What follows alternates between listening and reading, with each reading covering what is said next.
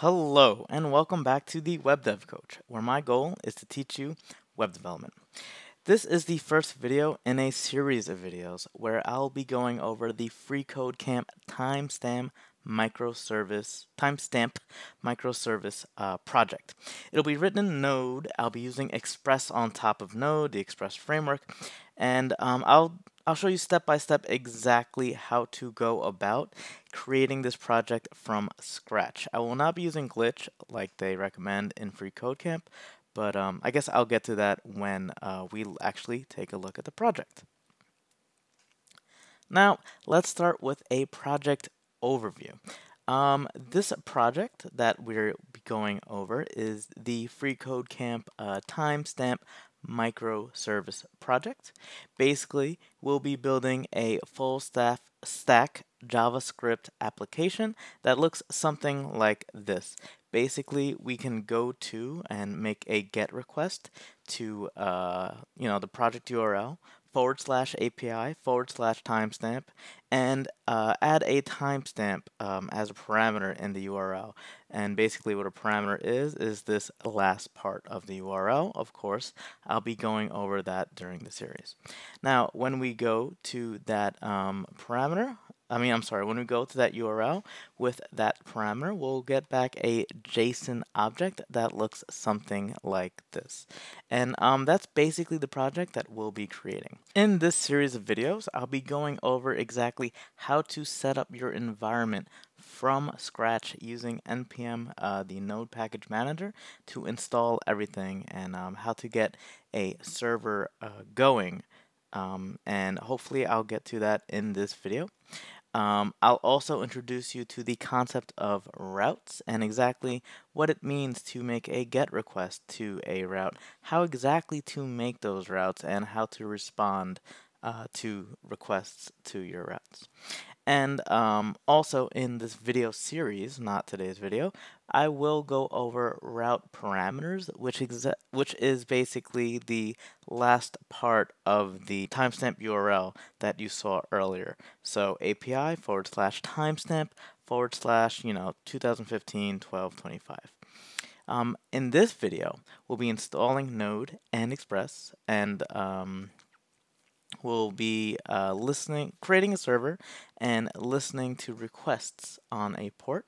Uh, hopefully, I'll also create an example route and um, there'll be more to come in future videos. I'll, I'll, dive in more into exactly what routes are, but um, in this video, I'll start you off with a the hello world of uh, routing in Node. First thing is first, you want to go ahead and install Node.js onto your local machine if you have not already. The way to do that is uh, you want to go to uh, nodejs.org and you want to install the latest LTS version of Node. LTS stands for long term support, which means that developers of Node will be supporting uh, version 10.15 for a long time. So go ahead, uh, click that. You'll see that Node is uh, ins installed, the package is installed if you're using a Mac. If you're using a uh, Windows computer, it'll likely install the uh, executable. That'll take you to a wizard and go ahead and install Node. Um, I will ignore this because I already have Node installed on my machine. But once you installed Node, go ahead and open your uh, terminal or the PowerShell on your Windows machine and type in npm v and some um, version number of npm should show up if you correctly installed node and you'll see that I have node um, version 10.9 at the moment. So if you install 10.15 you have a node version higher than mine. Anywho let's actually initialize our uh, timestamp microservice um, project. To do so go ahead and go to your project folder and type in npm init and uh, timestamp microservice. This will initialize a new node project on your local machine. Um, it looks like I made a mistake actually. Let's make a uh, directory called timestamp microservice and uh, cd into that, into that directory. And uh, from here, we'll type in npm init. And this will initialize a new node um, package, a new node uh, project. So it'll ask a bunch of questions. The first question you'll see is the package name. Uh, go ahead and click enter. Timestamp microservice is uh, okay, the version is 1.0. There's no need for a description. Our entry point will be index.js. That's fine. There's no test command. At the moment, there's no git repository. No keywords necessary. The license is fine. And everything there is okay by me. If you want to edit anything, go right ahead. And if uh, you want to edit anything later, it'll be okay because you can easily edit the project's package.json to um, you know, modify anything you've created in the beginning.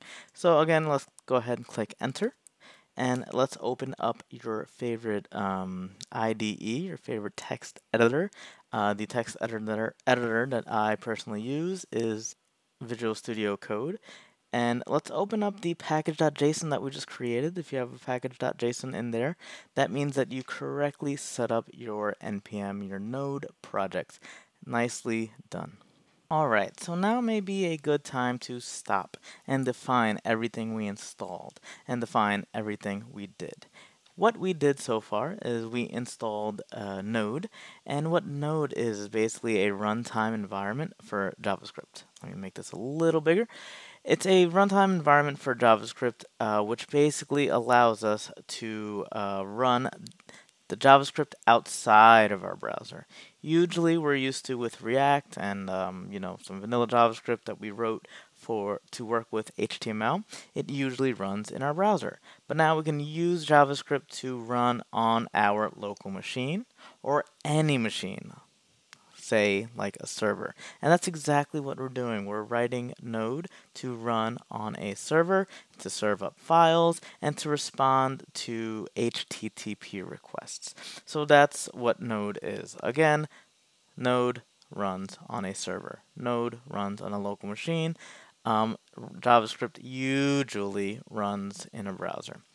We also installed NPM, and what NPM is, is a package manager for all the libraries and all the packages we'll be using with Node, for all the libraries and all the packages that we'll be uh, using with our uh, with a project that we're running. Um, you may have seen uh, NPM used in the past.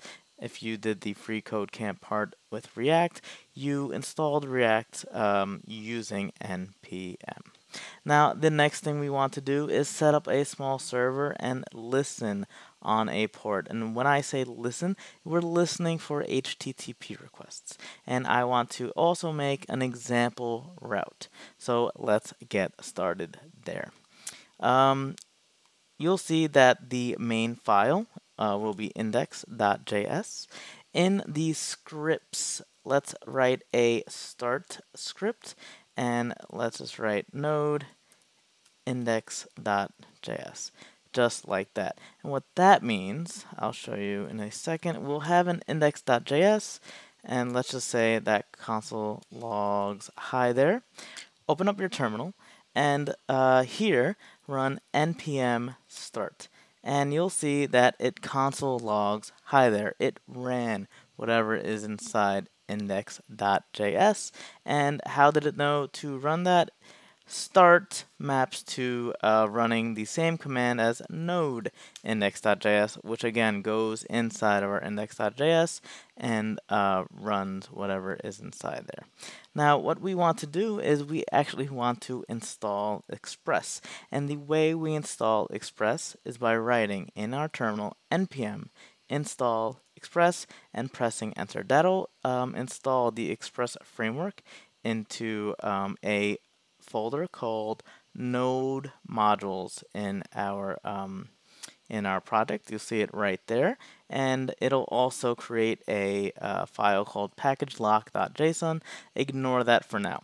Another thing I want to point out is that it also adds Express into a dependencies property in our package.json. This is how um, NPM keeps track of exactly the uh, packages and libraries that we're using in our project. So now we have Express set up.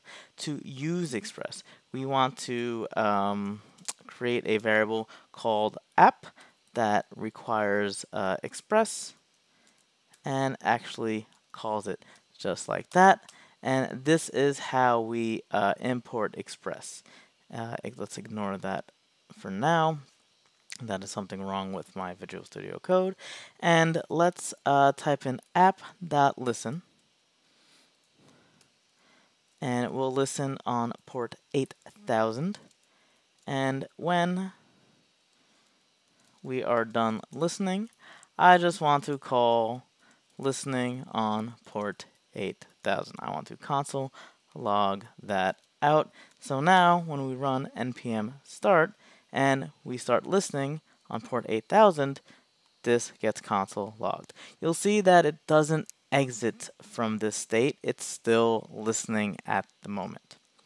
However, it needs a route for us to prove that we're actually listening on route 8000. Let's get to that right now. We'll start with a get request, a uh, get route, and I'll go over exactly what that means in the next video.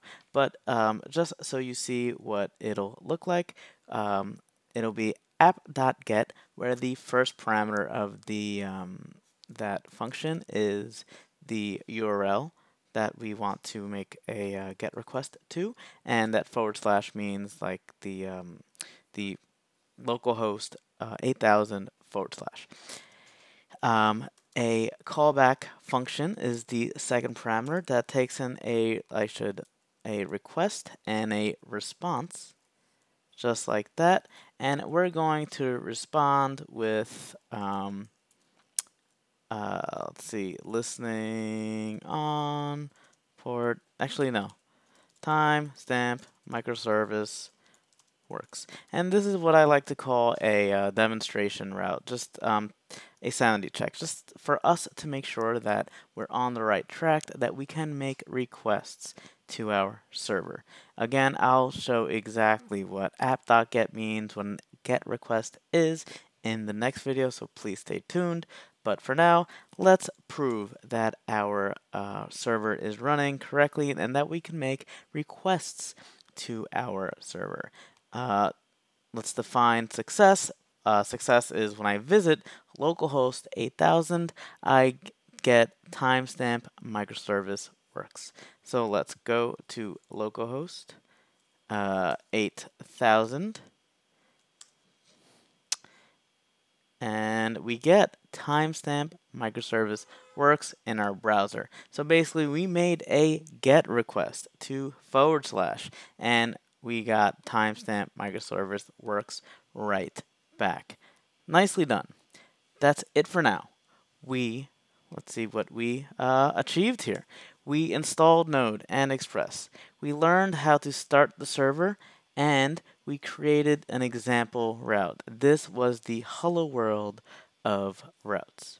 Uh, stay tuned for the next videos where we actually dive in deeper into routes. I will teach you exactly what a uh, HTTP request is and I will teach exactly what a GET request is, what exactly that means. And um, in a video after that, I will go over route parameters. If you like this video, please subscribe to my channel. Please click like. If you have any questions, please leave, leave them in the comment section below. I promise I will answer each and every comment. But until next time, this is the Web Dev Coach signing off. Peace.